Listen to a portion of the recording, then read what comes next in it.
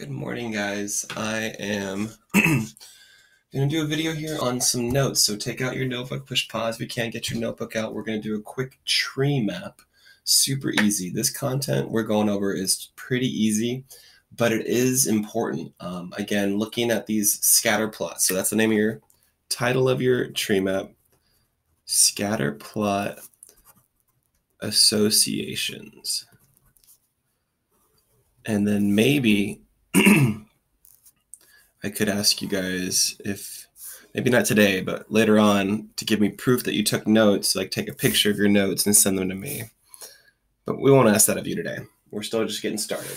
Next week will look a little different. I will explain everything I need to. I will um, be doing some videos, and then next week you're going to be required, I believe, to do a Flipgrid. I think that's going to be my way of kind of checking to make sure you're doing your work as well. So, scatter plot associations and then we'll talk about what a scatter plot is, but I'm going to name them off right now. This is a positive association, negative association, and no association. I'm going to abbreviate association right there. Okay. And we're going to just dive into the positive part first.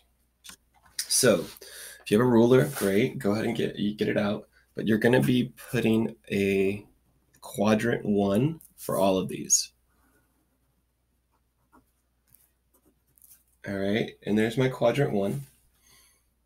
And I can even put age so you can get a little sense of what's going on here. And height. Age and height. And what do you think? First of all, let me ask this question. What would the y-intercept be on this kind of idea here? What if I said this is my, forget about what the number of the height is. What would that be? What would my age be at the y-intercept?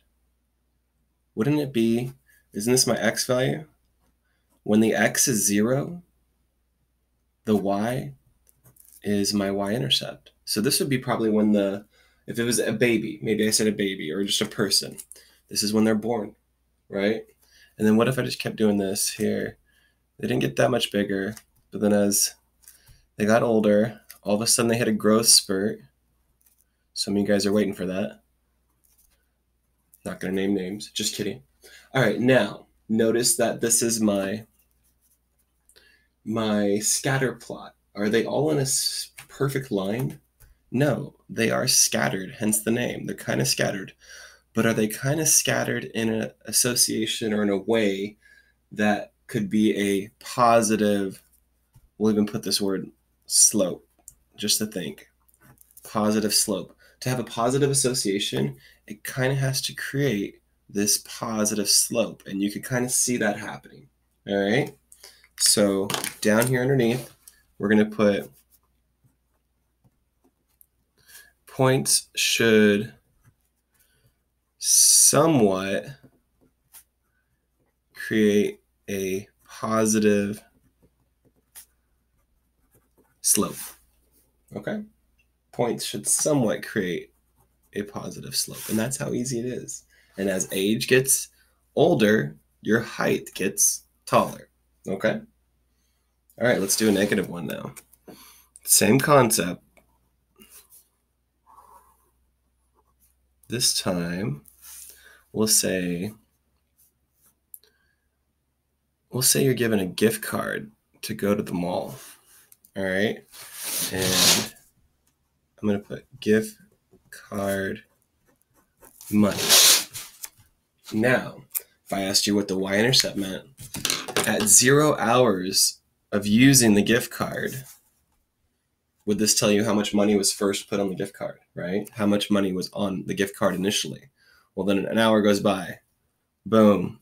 You went to Zumiez or or you went to Street Dreams. You know, I see Sebia with those shirts all the time. So maybe you guys are all over the place. And then you're at the mall, and then oh wait a minute, you go to I don't know, go get some food. You're at the food court now. All right. And you just spend a little bit at the food court.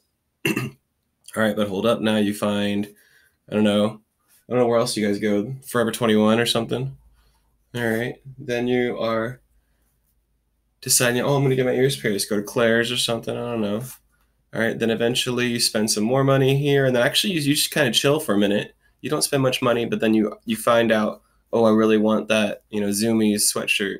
And you spend the rest of your money. Okay. Now, notice I said the rest of your money when you're on a Y or the X. When you have finally hit this here, this on the Y would be zero so that meant you spent all your money. You can't go negative on the gift card. All right. You can't be doing that. So if you look at this here, you notice it's going down. It's a negative association. Okay. So we're going to write that points should somewhat create a negative slope all right, negative slope or negative association. All right, now I'm going to pull up some some other ones you can look at, but those are your notes for this part. We got one more part left. Push pause if you need to.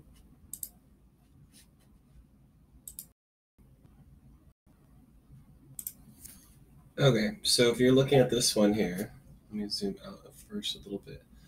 Maggie's long jump distances, distance of long jump in feet.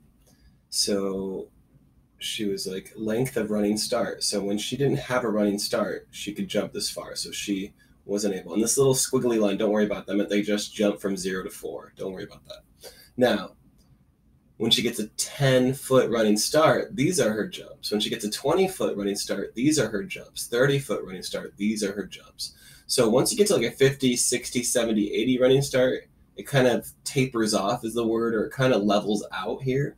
But do you notice this is a positive association? You can tell that, right? You can see that going up, up, up, up. It does level off here because she can't keep it, no matter how much running starts, you can't just keep jumping forever.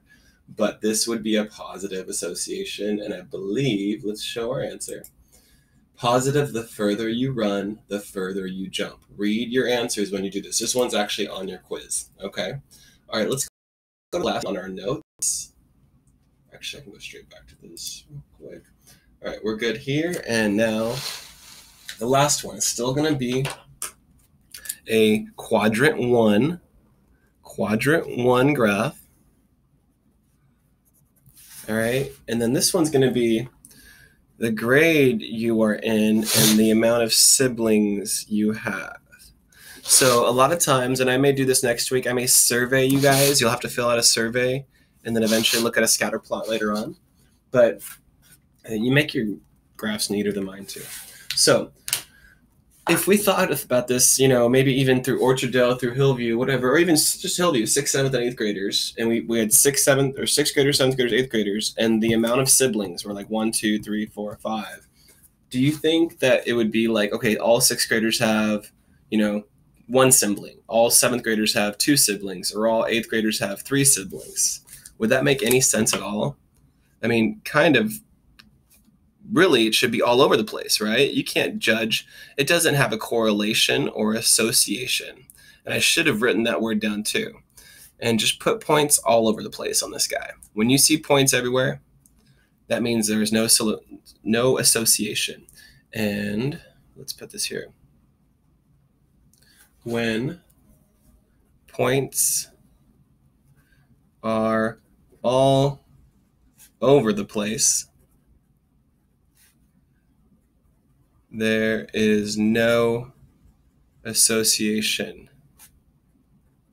Also known as correlation. That's a fancy word. That could be a membean word. Correlation or correlate. These correlate in a negative association. These correlate into a positive association, but these don't have a correlation. Okay? All right, do the best you can on the quizzes. Read each question. There's only like 12. Tomorrow there will be a Google form. This concept will not be on there. Oh, this concept will not be on there. Okay. All right, let me plug this in.